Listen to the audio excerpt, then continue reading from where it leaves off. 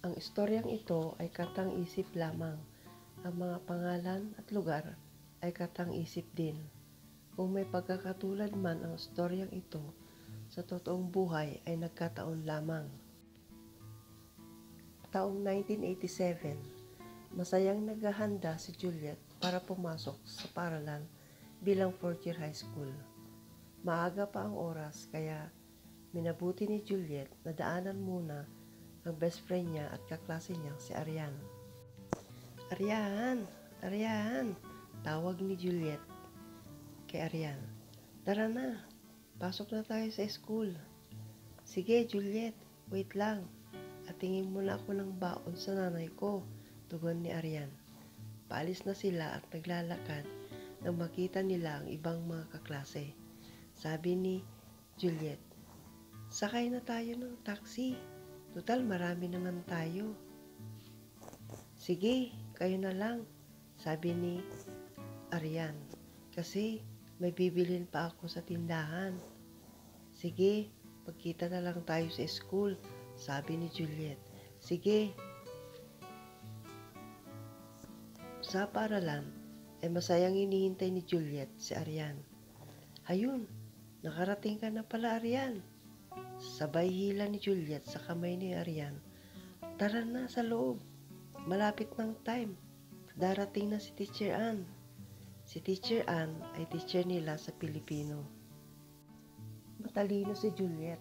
Siya lagi ang nangunguna sa class section nila. May kaya din sila sa buhay at madalas siyang nanglilibre lalo na kay Arian. Pagkatapos ng klase at uwian na, madalas magyaya si Juliet na magmerenda bago uuwi. Arian, merenda muna tayo. Naku, Juliet, next time na lang kasi may lakad ako. Susunduin ko yung boyfriend ko. May pupuntahan kasi kami. Sabi ni Arian. Naku, pakilala mo naman yung boyfriend mo sa akin. Ang daya mo, Arian. Next time na lang, Juliet. Sa ibang pagkakataon na lang. Sige, alis na ako. Bye, Juliet. Isang hapon, magkasabay silang magkaibigan. Naglakad pa uwi. Masaya silang nagkukulitan sa daan nang biglang may tumawag sa pangalan ni Arian. Arian! Arian! Sigaw ng lalaki. Nilingon niya ang lalaki. Si Ricky pala. Arian, pakilala mo naman ako sa kasama mo. Pakiusap ni Ricky. Umirap si Arian, pero pinakilala pa rin siya. Ricky, si Juliet. Juliet, si Ricky. Pakilala ni Arian. Si Ricky ay isang college freshman sa isang colleges na malapit sa school nila, Juliet at Arian. Mula noon, halos araw-araw na sila, Juliet at Ricky na magkasama. At mula din noon, ay umiwas na si Arian kina Juliet at Ricky. Nalulungkot si Arian pag nakikita niya sina Juliet at Ricky. Isang araw, ay kinausap niya si Juliet. Juliet, Bes, boyfriend mo na ba si Ricky? Oo, kami na ni Ricky, pagtatapat ni Juliet. Gumiti lang si Arian at tumalikod na itong malungkot. Makalipas ng ilang buwan at ilang araw na lang ay graduation na ng high school nila Juliet at Arian. Tinanong ni Juliet, Bes, bakit hindi ko maintindihan o ano ang dahilan sa biglang pag-iwas mo sa akin? Lumingon lang ang best friend niya at tumalikod din agad at di na nakita ni Juliet ang pagtulo ng luha ni Arian.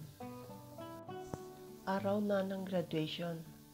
Graduation nila ay lahat na graduates at parents ay masayang naghihintay sa pag-uumpisa ng graduation ceremony.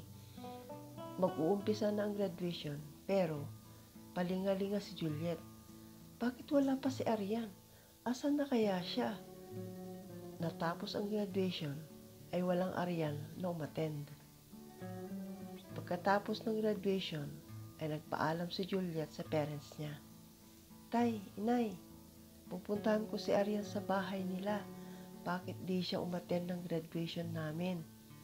Sige anak, mag-iingat ka, sabi ng nanay ni Juliet. Pagkarating sa bahay nila Arian, sinalubong siya ng nanay ni Arian.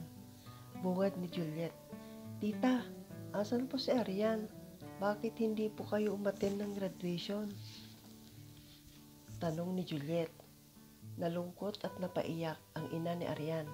Sagot ng ina, Nabundol ng sasakyan kaninang anak ko nang mauna siyang lumabas para pumunta sa graduation. Dali-daling pumunta sa ospital si Juliet para bisitahin ang kaibigan. Kumusta ka na, Arian? Nag-alala ako. Umiti lang si Arian. Maraming salamat, tugon ni Arian.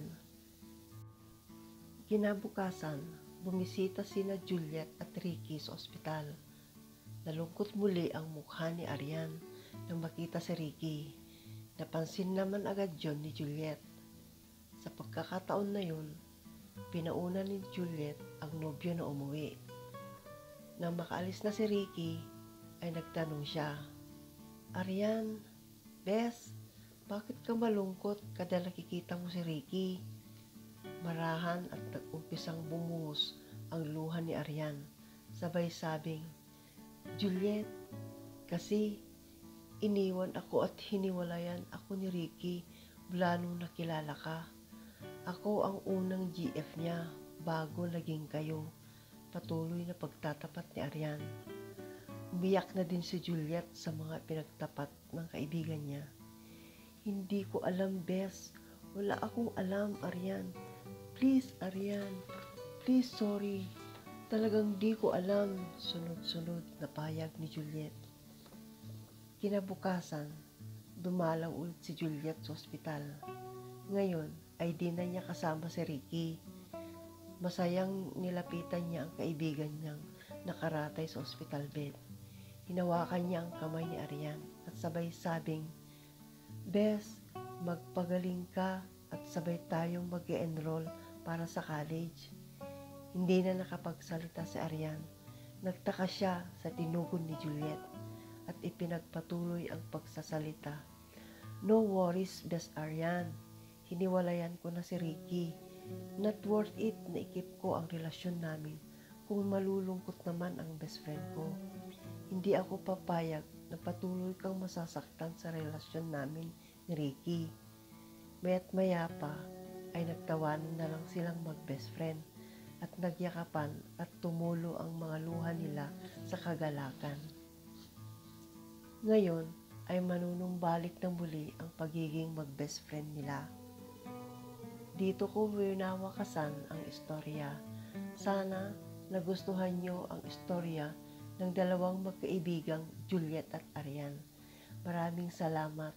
Kung nagustuhan nyo ang istorya, ay please pakipindot ang subscribe button para next time ma-notify kayo sa susunod ko pang istorya. Thank you!